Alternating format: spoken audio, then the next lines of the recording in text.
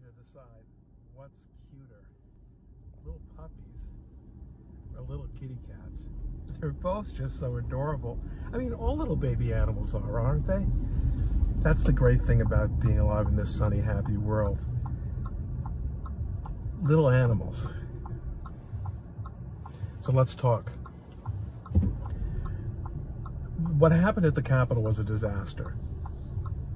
There are a lot of ways you can analyze it in terms of fault, in terms of LARPing, in terms of false flags. It was a disaster. It was a tragedy. But we have to learn something from it.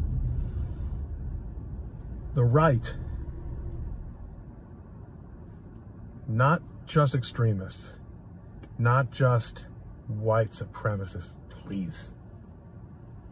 The right has lost, to a large extent, its knee-jerk conservative trust in police, in law enforcement, in government, and in the value of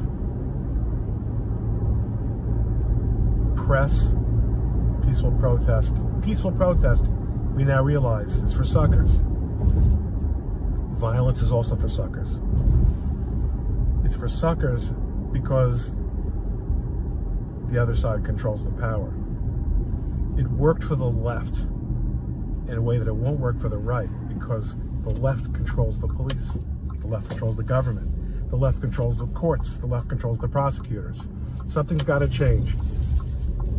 That's why, why I love, just love little baby animals.